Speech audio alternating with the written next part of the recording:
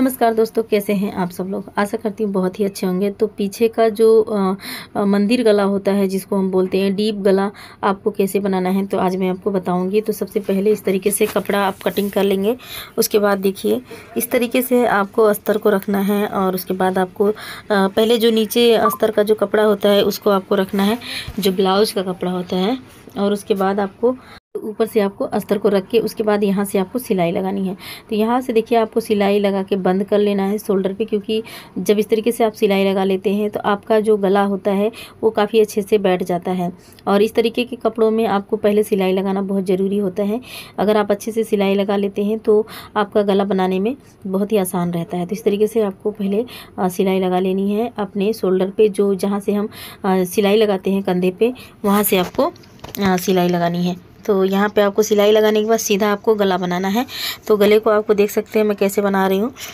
तो आपको पूरा प्रो मतलब कपड़े को अच्छे से आ, करते रहना है और फैलाते रहना है अच्छे से सीखो। मतलब इधर उधर से कपड़े को मतलब बटुरे ना मोड़े ना तो इसलिए आपको हमेशा कपड़े को अच्छे से देखिए इस तरीके से आ, करना होता है। तो देखिए हमारी गाँव की सिलाई है। गाँव में हम इस तरीके से ब्लाउज़ को सिलते हैं तो आप लोग कैसे सिलते हो कमेंट करके ज़रूर बताना। तो इसी तरीके से हम अपना जो ब्लाउज है, दूसरों का भी अपना भी खुद ऐसे सिलाई करते हैं।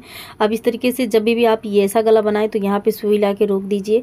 इस तरीके से रोकने से जो इसका कोना होता है ना, वो काफ़ी अच्छे से नुकीला की मतलब नुकील, नुकीली की तरह बनती है। और जिसकी वजह से हमारा गला जो है वो बैठ जाता है अच्छे से। तो अब उसके बाद यहाँ से, वहाँ से लाने के बाद आपको एक बार यहाँ पर भी सुई को खड़ी करनी है और उसके बाद फिर से आपको घुमाना है कपड़े को। उसके बाद फिर आपको इस तरीके से इस तरफ़ ले आना अब उस तरीके से बाद फिर उसके बाद आपको यहाँ से सिलाई को ले आनी है। उसके बाद फिर से आपको यहाँ पे सुई को खड़ी करनी है। तो इस तरीके से देखिए चारों साइड आपको आ, आपको मतलब ये कोना तीनों कोने में बनाना है। तो ये मैं आ, मंदिर वाला जो गला होता है इसी तरीके से बनता है। इस तरीके से आपको सिलाई निकाल देनी है अब बाहर। अब इस तरीके से आपको सिलाई लगाने के बाद अब आपको क्या करना है कि कटिंग करनी है इसकी। तो जब भी आप कोई भी गला बनाए तो पहले अस्तर की कटिंग करें उसके बाद कपड़े की कटिंग करें। अगर आप पहले कर लोगे तो आपका गला सही से बन नहीं पाएगा। अब यहाँ पे नीचे भी हम सिलाई लगा लेते हैं क्योंकि हमें बंद गला बनाना है तो इसलिए यहाँ पे हमें अस्तर वगैरह तुरपाई नहीं करनी है। तो इसीलिए क्योंकि नीचे ब्लाउज में लेस लगाना है तो इसलिए जब भी आपको लेस लगाना होता है तो आप यहाँ पे नीचे की सिलाई लगा दीजिए ताकि अस्तर जब पलटोगे तो आप ये अंदर के साइड हो जाएगा। तो इसलिए आप हमेशा इस तरीके से करें। अगर आपको तुरपाई वाला बनाना है तो आप यहाँ पे अस्तर वाला जो कपड़ा होता है, उसको लगा के आप पलट के तुरपाई कर सकते हैं। लेकिन अगर आपको सिलाई लगानी है तो आप इस तरीके से सिलाई लगाइए। देखिए यहाँ पे जो कपड़ा बचता है उसको आप छाट लीजिए इस तरीके से। अब उसके बाद हम इसको पलट देंगे। तो ये देखिए यहाँ पे इसके पहली कटिंग कर लेते हैं। तो यहाँ पे ये जो बीच का कपड़ा है इसको हम काट के निकाल देते हैं। और इस कपड़े को हम फेंकेंगे नहीं क्योंकि हम इसको यूज़ में ले लेते हैं। तो हमारे बहुत काम में आता है क्योंकि आ, कपड़ा कम आता है ब्लाउज में तो ये सारे कपड़े बचते हैं तो हमारे काम आते हैं। तो इसलिए पहले यहाँ से आपको काट लेना है फिर उसके बाद इस तरीके से सारे कपड़ों को आपको काट लेना है। अब इस तरीके से काटने के बाद देख सकते हैं, ये हमारा गला बन गया है तो अभी यहाँ बीच बीच में आपको कट लगा लेना है। अब यहाँ पे कट लगा लेंगे तो ये अच्छे से बैठेगा तो यहाँ पर इस तरीके से आपको बीच बीच में कट लगा लेना है। तो ये देखिए कट लग चुका है। अब हम क्या करेंगे, इसको पलट देंगे। अब ये पलटेंगे तो हमारा अच्छा सा एक मतलब जो गला है वो अच्छे से बन जाएगा। तो अभी हम इसको सीधा करेंगे। पहले इसकी सिलाई जो यहाँ की है उसको तोड़ देते हैं। तो ये वाली सिलाई हम ज़रूर से इसकी तोड़ देते हैं, क्योंकि इसको तोड़ने से ही हमारा मतलब हम पलट पाएँगे, नहीं तो ये सही से पलटाएगा नहीं। अब यहाँ पे देख सकते हैं, इस तरीके से पलट दिया है मैंने। तो ये देखिए, पलट चुका है। तो इस तरीके से आपको इसको पलटी कर देना है। अब पलटी करने के बाद आपको आपको इस पर अच्छे से पहले इसको सेट कर लेना है। उसके बाद आपको इस पर लेस लगाना है।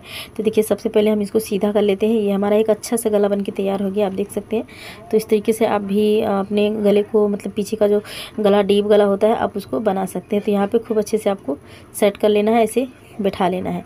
अभी आपको यहाँ पर देख सकते हैं तो इस तरीके से आपको पहले सेट कर लेना है और यहाँ पे आपको एक सिलाई लगानी है। तो इस तरीके से सिलाई एक लगा दीजिए, उसके बाद फिर आप इसके ऊपर लेस लगा देंगे, क्योंकि इस तरह सिलाई लगाने से अच्छे से पहले बैठ जाएगा, उसके बाद आप सिलाई लगा देते हैं यहाँ पे देख सकते हैं मैंने सिलाई लगा दिया है। अब हम लगा देंगे इसके ऊपर लेस। तो यहाँ पे पतला वाला लेस मैंने लिया है। अब इस तरीके से इस पर हम लेस लगाएँगे और बहुत ही अच्छा लगता है इस तरीके के जो गले होते हैं। अगर आप थोड़ा सा मतलब अच्छे से बनाते हैं, डीप गला काफ़ी लोगों को पसंद भी है तो इस तरीके से आप इस पर सिलाई लगा दीजिए। और पतले वाले लेस पे एक ही सिलाई लगाई जाती है। और अगर चौड़ा वाली सिलाई है तो सॉरी अगर चौड़ा वाला लेस है तो आप उस पर डबल सिलाई कर सकते हैं। तो यहाँ पे, अब यहाँ पे लाके आपको फिर से वो रोकना है। जैसे आपने पहले सिला था, उसी तरीके से आपको इसको सिलाई लगानी है ताकि अच्छे से आपका जो लेस है वो लग जाए। तो यहाँ पे मैं लगा देती हूँ। तो यहाँ पे देख सकते हैं मैंने लगा दिया है गले पे और अभी मैं यहाँ पे निशान लगा देती हूँ। तो यहाँ पे ये ये निशान लगा के यहाँ पे ये हम बना लेंगे, इसको भी, इसको, ये प्लेट डाल देंगे। प्लेट डालने के बाद हम फिर लेस लगाएँगे, क्योंकि पहले प्लेट डालते हैं, फिर उसके बाद जो है लेस लगाते हैं। तो काफ़ी अच्छा लगता है। और अगर आप लेस लगा के फिर प्लेट बनाओगे तो ये मतलब प्लेट वो जो लेस है, वो धसेगा आपको मतलब चुभेगा पीछे से। तो इसलिए जब भी आप लेस लगाएँ तो पहले प्लेट बना लीजिए, उसके बाद आप लेस लगाइए। तो अच्छा भी लगता है और आपको चुभेगा भी नहीं। तो इसलिए आप ये वाला काम ज़रूर से करें। तो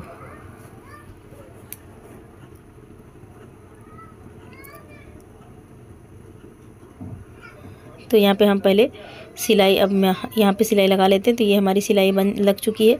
अभी हम पीछे का जो लेस है उसको लगा देते हैं। तो देख सकते हैं, यहाँ पे मैंने लगा दिया है, और अभी हम इस पर ये वाला लेस जो है, ये पीछे के साइड से लगा देते हैं।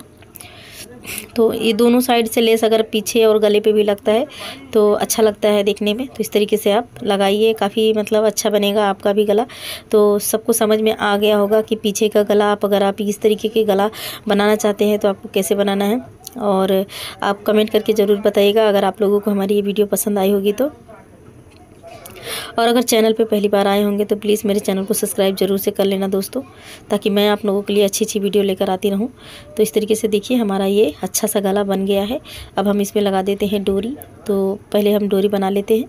इस तरीके से अब ये हमारा गला सॉरी, ये हमारा ब्लाउज अच्छे से पीछे का रेडी हो चुका है। अब इसमें कुछ भी नहीं करना है। बस इसमें डोरी लगाना है। बाकी आगे का पार्ट जो है वो तैयार करना है। तब जाके हमारा ब्लाउज जो है कंप्लीट होगा। तो यहाँ पे देख सकते हैं। तो ये देखिए, यहाँ पे ये हो गया है तैयार। तो चलिए, अभी हम इसकी डोरी जो है वो बना लेते हैं।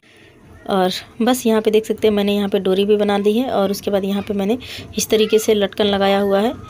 तो कपड़े की लटकन आप अच्छी, जैसा चाहो वैसा कपड़े का लटकन आप बना के लगा सकते हो। तो यहाँ पे ये हमारी बन गया है, पीछे की डोरी। आप लोग बताइएगा आप लोगों को कैसा लगा हमारा ये वीडियो? अच्छा लगा होगा तो कमेंट करके ज़रूर बताइएगा। और हाँ मिलते हैं दूसरी वीडियो में। तब तक के लिए बाय बाय। अपना ध्यान रखना।